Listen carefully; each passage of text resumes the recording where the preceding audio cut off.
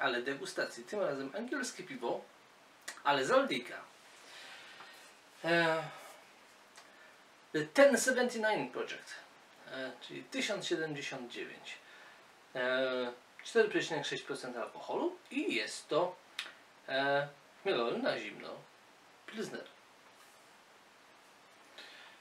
No i tutaj cuda wpisują.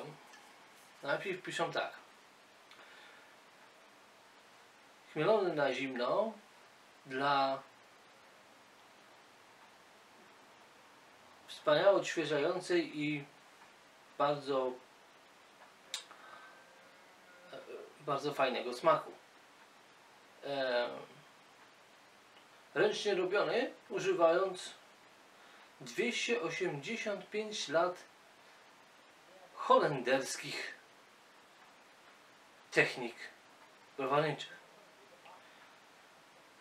No dobrze, no może to źle przetłumaczyłem, ale chodzi o to, że no w tradycji piwowarskich holenderskich. No dobrze, dlaczego holenderskich? E, O, jest historia 1079.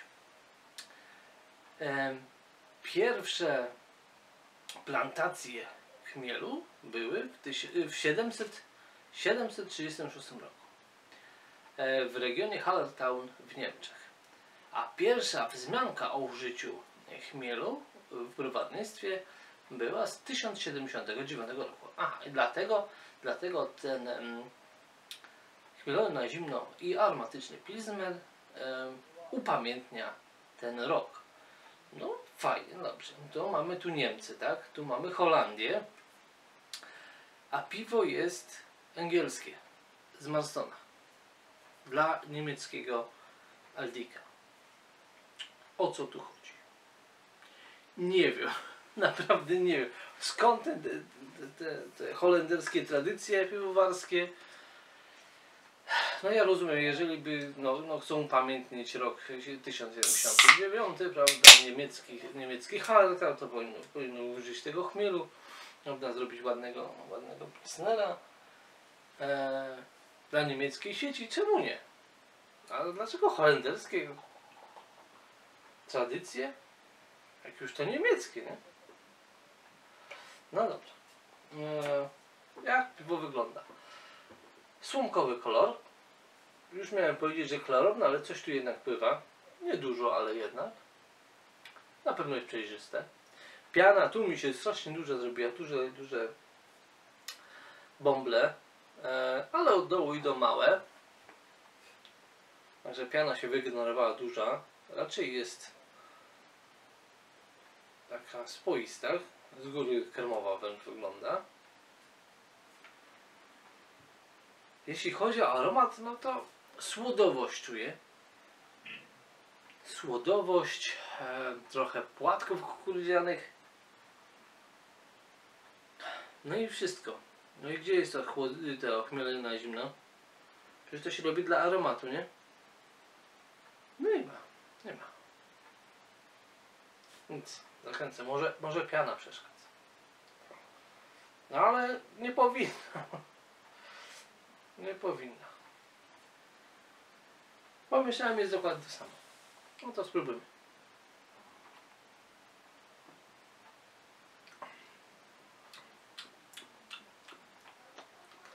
No, nie jest źle. Nie jest źle. Jest takie mm, średnie wsycenie, średnie ciało. Troszkę słodowości, ale raczej wytrawne.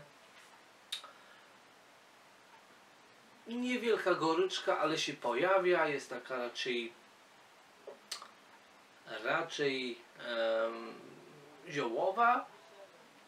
Gdzieś w międzyczasie pojawia się trochę wody mineralnej, co dodaje takiego lekki, lekkiej metaliczności, ale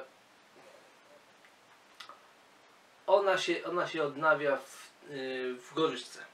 Także jeżeli użyli haltało, no to to może się zdarzyć.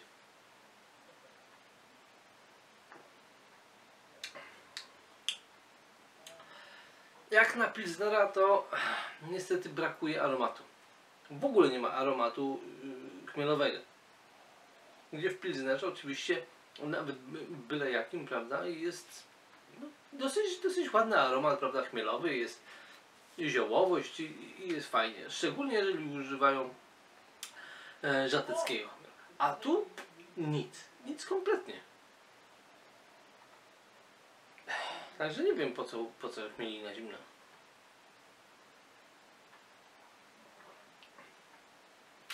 Bo goryczkę można znaleźć. Ale aromatu nie. Tylko słodowość, nic więcej. Natomiast nie jest to najgorsze piwo. Nie, ono jest nawet fajne. Ono jest e, sesyjne, ono jest odświeżające. Fajne właśnie na, na, na, na lato, e, na, na grilla. Naprawdę. Tylko jak dla mnie nie spełnia kryteriów. No. E, no cóż, no. Myślałem, że będzie lepiej. Mielone na zimno powinien być bardziej aromatyczny, a tu jednak nie jest. Piwo samo w sobie nie jest złe. No tylko, że no, brakuje mu tego aromatu chmielowego na, na wstępie, a później już jest dobrze. No. Tak jak smakuje jak lager, prawda? No. Fajny taki, bardzo pijalny, odświeżający, sesyjny. Bez aromatu. Ale jeżeli znajdziecie Waldim, to kupcie, a sami ocencie. Nie, nie jest zły, naprawdę nie jest zły, tylko nie wiem po co napisali, że był chmielony na zimno, jak nie był. Albo tak był chmielony, że rzucili dwie szyszeczki i starczy, nie? Na cały poziom. No dobra. Mam nadzieję, że film się Wam podobał, także dajcie łapkę w górę, subskrybujcie kanał, pamiętajcie o dzwoneczku, który nie Wam przypomina o każdym nowym filmie na kanale i Wasze zdrowie. Jest?